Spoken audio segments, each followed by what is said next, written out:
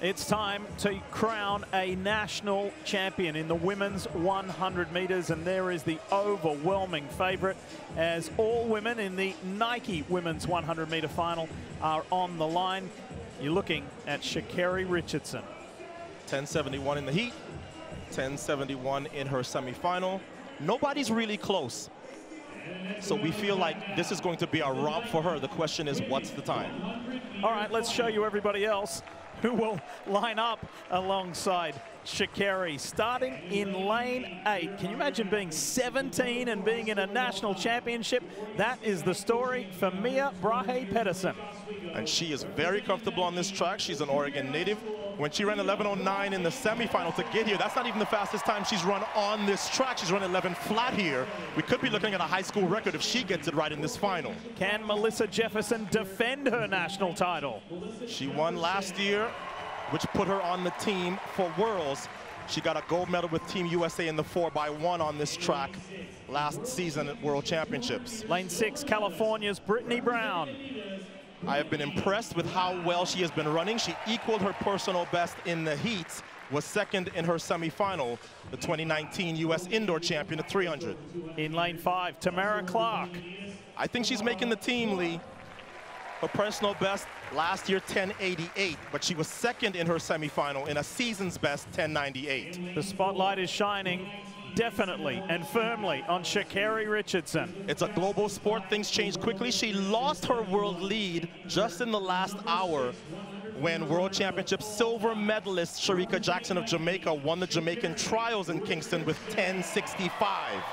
Good. Oh, wow. Well, look out.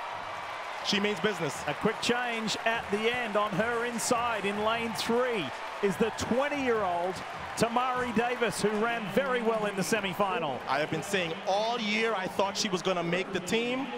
Nothing that she ran in the semifinals gives me any reason to change that. Her personal best is 1083. She has not lost a final this year at 100. To the left of Tamari is Twanisha TT Terry. She made the team last year that went to the World Championships in the 100, getting as far as the semifinal. She trains with Sha'Carri Richardson under Dennis Mitchell. And lane one is the 21-year-old Jacious Sears. At Tennessee, she just finished her season there. Third in the 100 at NCAAs and fourth in the 200.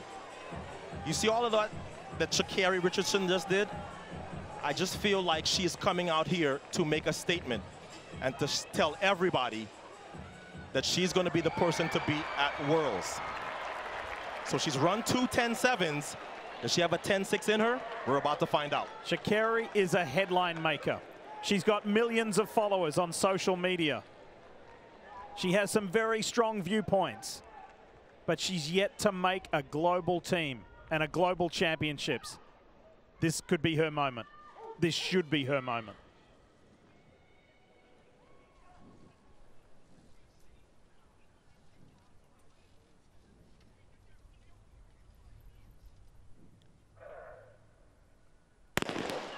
Women's 100 final, it was not a good start for Sha'Carri Richardson. But Tamari Davis on her inside is making her work for it. Now here comes Sha'Carri Richardson. Richardson is a national champion. 1084. The World Championships are waiting for Sha'Carri.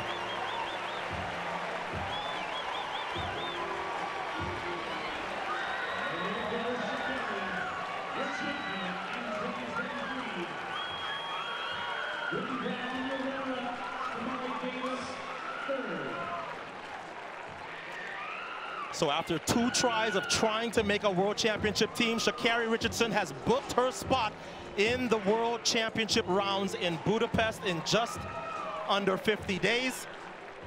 But her start betrayed her immensely. After two really good starts in the heats and the semifinal, it's almost like she went back to the old Sha'Carri and she did not respond well to the gun. She's fourth from the top of your screen. It was Tamari Davis that got away from her.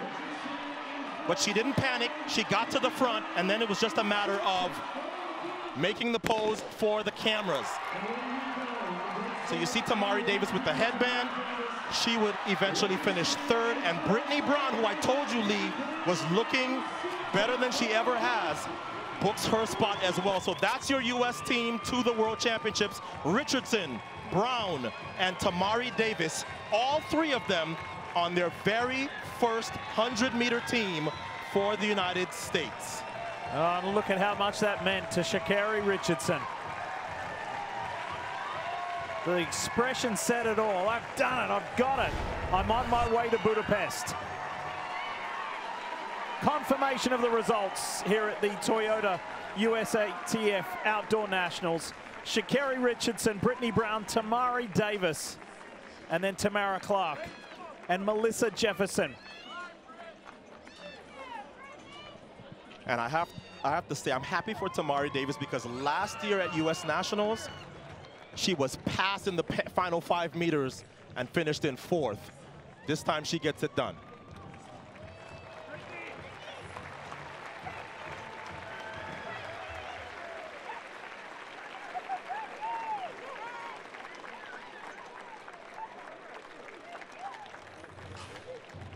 And this scene with Sha'Carri reminds, of, reminds us of the 2021 yes. Olympic trials. Yes, it does. When she won the race and then went immediately into the stands to find her people.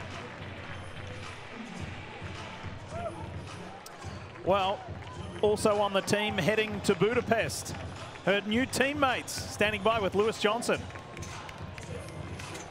Brittany, you ran a personal best in the semifinals, up in the heats. How did that seem to set you up for what we saw tonight here in this final?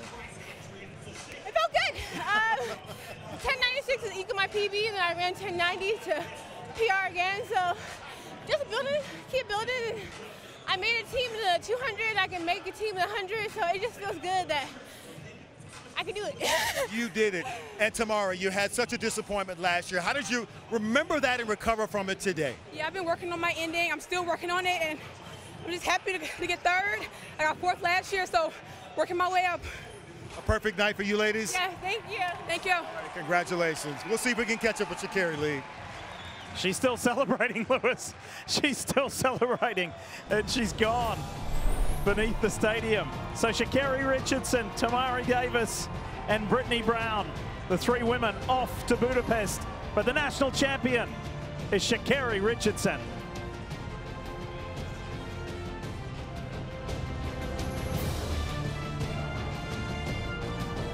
Well, when you've just won the Toyota USATF National Championship in the Women's 100, you take some catching, like Sha'Carri Richardson. But during the break, Lewis Johnson did finally catch up with her. Here it is. Well, Sha'Carri, it was a moment that many won't forget. You threw the wig off, and then you threw down on the track. What did it mean to cross the line, be a national champion, and now you're going to your first Global Outdoor Championship? Well, I've been a champion, that's for one. But the thing I remember the most is the last time I think I stood here on this stadium yeah. with you, and I did an interview when I knew I wasn't ready to do one. Mm. But now I stand here with you again, and I'm ready mentally, physically, and emotionally. Yeah. And I'm here to stay. I'm not back, I'm better. There you have it.